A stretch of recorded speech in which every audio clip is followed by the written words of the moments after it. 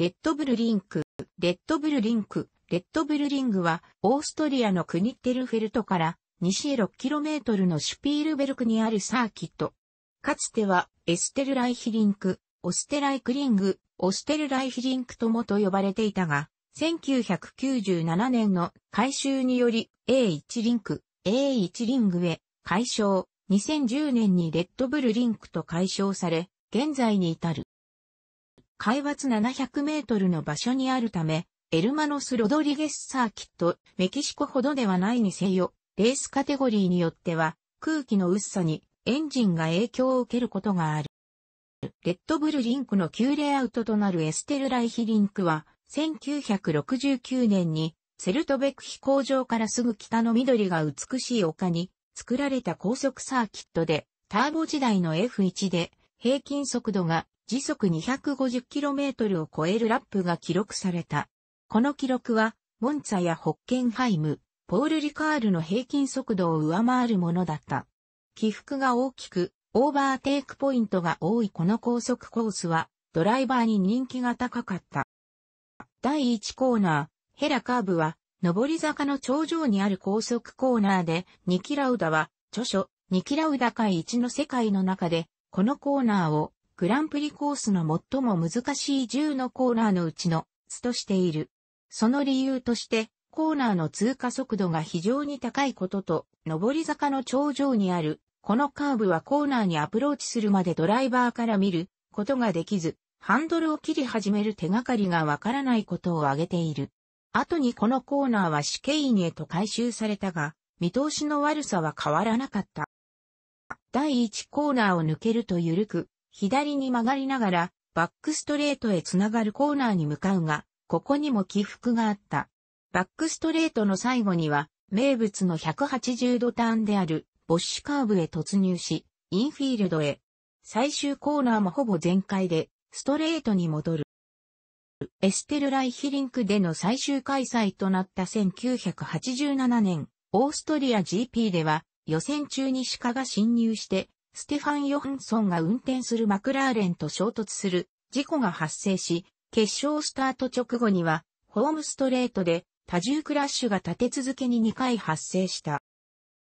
観客管理、警備にずさんな面があり、ランオフエリアの芝生に観客が入り込んだこともあった。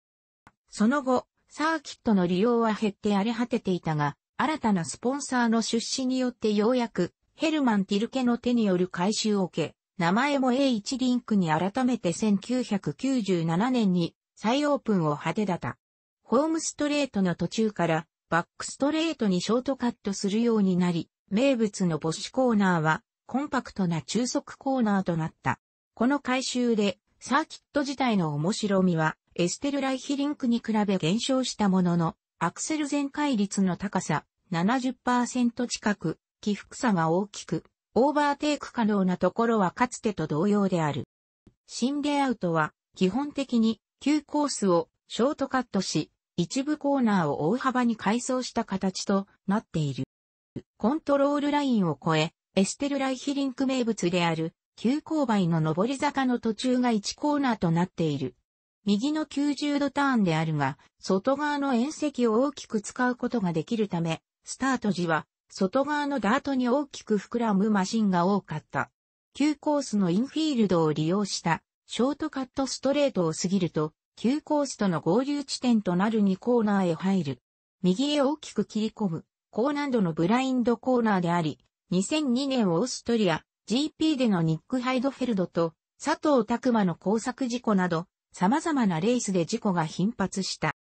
バックストレートへ合流し、急コースの名物であったボッシュコーナーへ。急コーナーは、スタンド沿いを大きく外周する高速180度ターンであったが、新コースでは、緩いヘアピン状となり、通過速度が大きく低下している。インフィールドのパワーホースコーナーから S 字となったラウダカーブへ。最終コーナーも、急コースでは大きな弧を描いた超高速180度ターンであったものが、90度ターン2つの中速コーナーに回収された。急コースの問題点とされていた狭いホームストレートは解消され、芝生のみで構成されていたランオフエリアもダート化及びターマック舗装が施されている。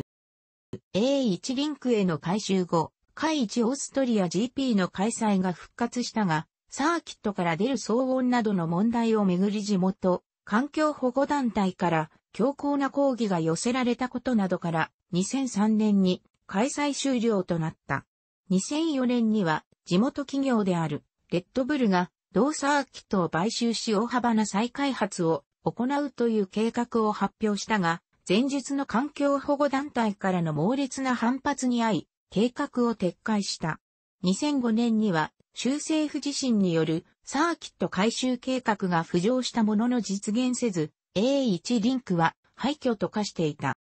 その後、レッドブルのオーナーであるディートリヒ・マテシッツの投資によって再建されることが決定。2010年、名称をレッドブルリンクと改めた上で、FIA のサーキット承認を再取得し、2011年5月14日に再々オープンを果たした。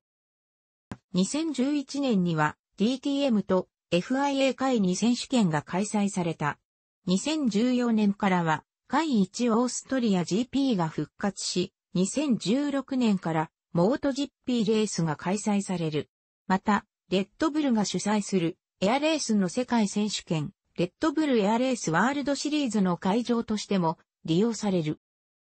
2017年現在で開催されている回1レースのサーキットの中で一周にかかる時間が最も短く1分10秒を切る。2017年は1分4秒台にまで突入した。現在、各チームの差はさほど大きくないのでそこまで影響はないが、107%ルールには最も注意しなければならないサーキットである。楽しくご覧になりましたら、購読と良いです。クリックしてください。